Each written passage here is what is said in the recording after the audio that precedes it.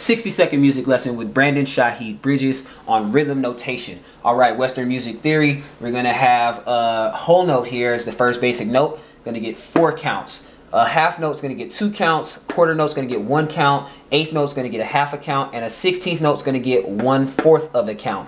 Well, how do we identify these notes? With the flags, the beams, stems, or the note head. So the note head is open here, then we add a stem, then we fill in the note head with the stem, then we add a flag, one flag for the eighth note, two for the 16th note, but if we want to connect them, we make them beams. So now when we put that on music, here's what it looks like and sounds like. One, two, ready, go. One, two, three, four. One, two, three, four. One, two, three, four. One and two and three and four and one and a two and a three and a four and a one.